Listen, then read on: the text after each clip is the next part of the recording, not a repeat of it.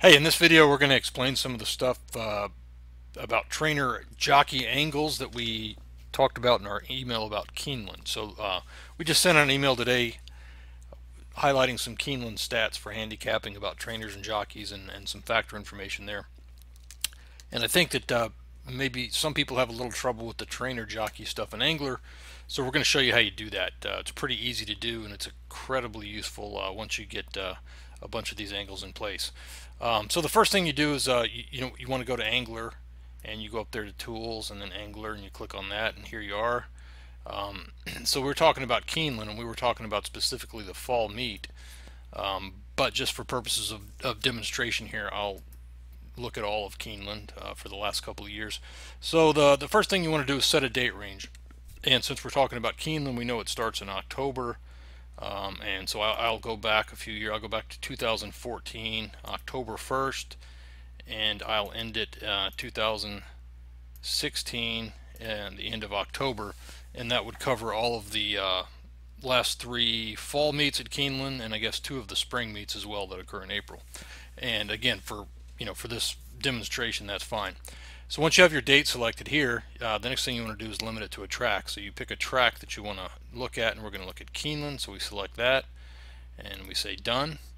And so you can see over here in the uh, settings, we now have a date range and a track. And if you ever forget which track you picked, you can just go over here and click on this again, and, and the, the, the track you picked would be highlighted. So it's uh, Keeneland.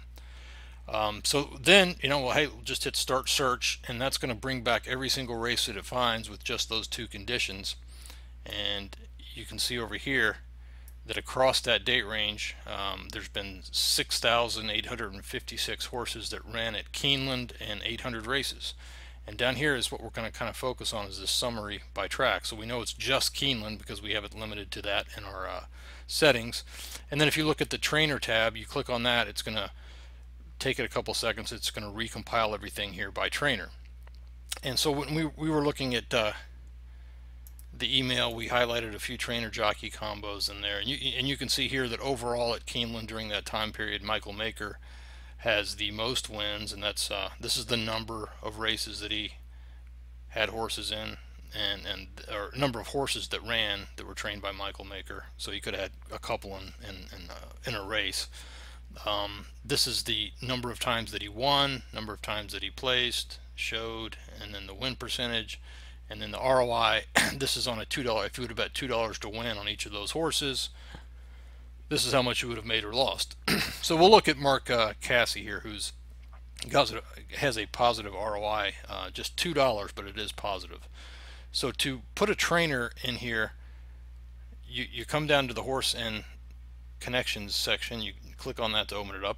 And then this is where you're going to input the trainer name. And for a name like uh, Casse, I'm pretty sure there's no other trainer with that name. So uh, I'm, I feel safe that I can just put that in there and not get a, uh, a couple of trainers with the same last name. If that is the case, if you're if you're looking at a trainer with the last name of Smith, for example, you might need to put in the first name as well to make sure you're just getting results for that guy. So then we'll hit start search and of course we have three conditions in here now, which is the date range, the track, which is Keeneland, and the trainer is Casse. And we come over here now, we can see that this trainer list is now just Casse. Now the second thing you want to do here is we know that it, we're looking at uh, horses trained by Mark Casse at Keeneland in this date range, and then we can click on the jockey tab over here, and then we can get a list of all the jockeys that uh, were riding horses trained by Casse at Keeneland. So you see uh, we can sort that by the wins and we get uh, Leparoux on top, Bridgmohan second, and Leparoux had 17 wins. So now let's uh, we'll add Leparoux there uh, as part of this condition. So now we just come back over here to the jockey and we add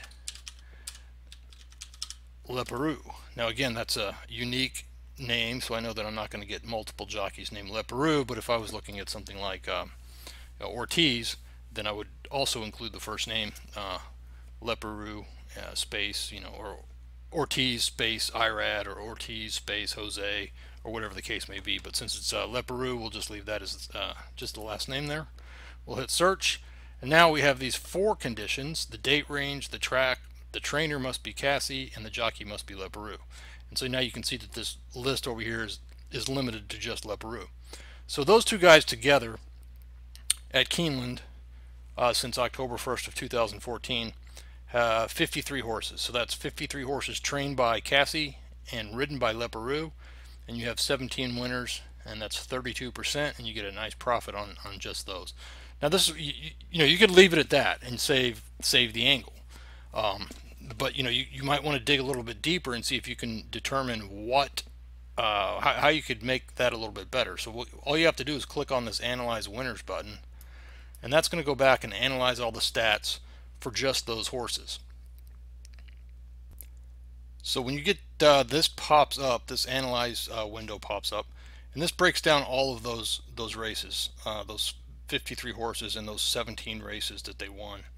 And we can see how it broke down by distance. So you have one at six furlongs, and, and a lot of them, nine of them, were at uh, eight and a half furlongs. It's pretty pretty even between dirt and turf. Um, this shows you the types of races. You know, most of them were uh, eight of them were maiden special weights and a couple of grade ones, a grade two, and then four four grade ones and a you know one grade three, one grade two, a couple of allowance races, and one claiming race. Now down here it shows you the factor statistics. So of those 17 horses over here, we can see that 47% um, of them were ranked first in last race class, which is pretty interesting. Um, so let's let's close this and we'll go back to the uh, to angler and we'll add one more condition. Go down here to the factors and I'll say class, last race class must be first. So this horse, you know, in addition to all this other stuff, now it has to also be ranked first in last race class. So I hit start search there and now we've narrowed it down quite a bit and you get uh, only 11 horses qualified under all those conditions. Um, and you have uh, of those 11 six of them won uh, which is 54% and you know that you're you're really tightening that uh, that grouping down. So if you wanted to say all right er, I want an angle that shows me every time this is run you know or every time a horse is found that meets these conditions all you have to do is say save angle.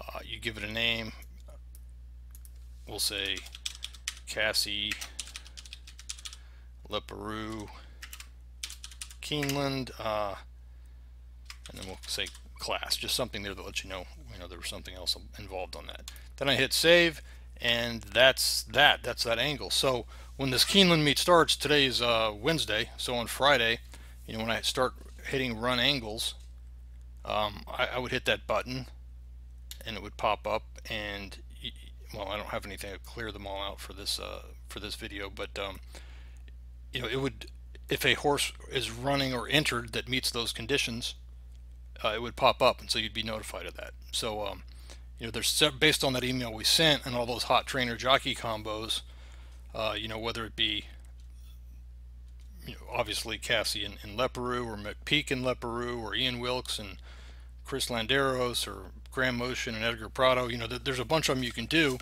and of course you're not limited to doing that at Keeneland. You you can do that on any track that you play. And um, the more of these you have the better you're going to do. Um, and some of them are very situational. You know it's not just always the trainer and jockey together but when you narrow it down a little bit more you might say well this trainer and this jockey um, are fantastic on the turf not so good on the dirt um, so the trainer the jockey and the, and the surface and then also maybe the race type you know it's um, Maybe it's maiden special weight races. Maybe it's the, the, the trainer goes to this jockey when he needs the uh, needs to get the win in the maiden special weight.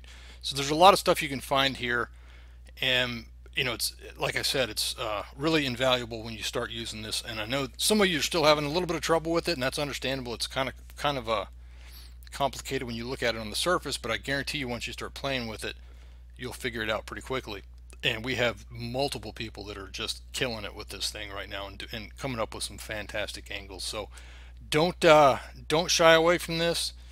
Use that email that we sent out today with those trainer jockey combinations and just start building a few for Keeneland. And uh, have those in your in your holster there ready to fire uh, when when Keeneland starts this Friday. Um, if you have any questions about angler you know, we're always happy to help. Just shoot us an email, and we'll uh, we'll give you as much help as we possibly can to get you up and running on that. Best of luck. See you.